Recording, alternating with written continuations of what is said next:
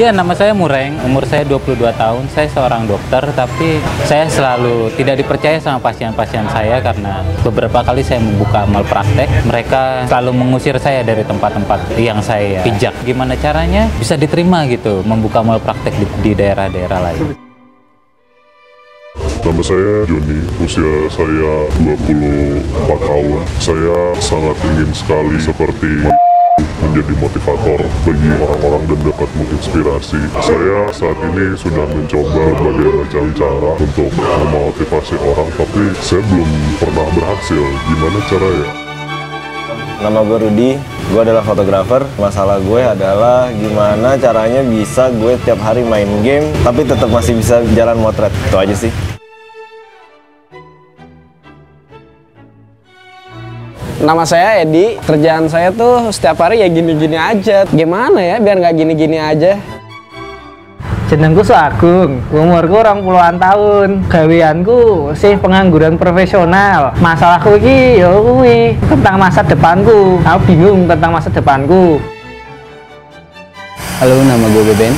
Gue di sini bekerja sebagai apa aja.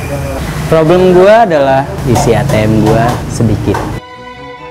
Nama Ogi Sasongko, kerjaan gue apa aja deh, yang penting masukkan duit. Cuan, cuan, cuan, cuan, ya kan? Gue nggak punya masalah, always smile.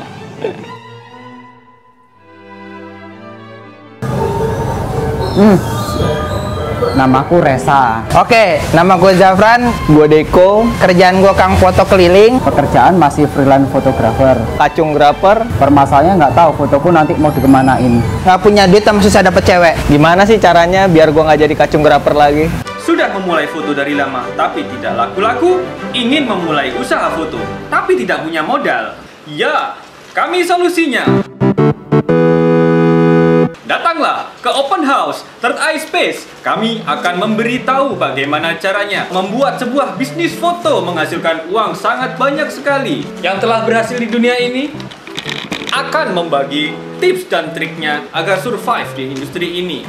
Tenang saja, kami akan berbagi bagaimana cara menghadapi persaingan saat persaing Anda membanting harga, saat klien Anda membanting pintu untuk Anda, atau saat klien Anda menolak untuk membayar. Ya, kami akan buka-bukaan di Open House Third Eye Space.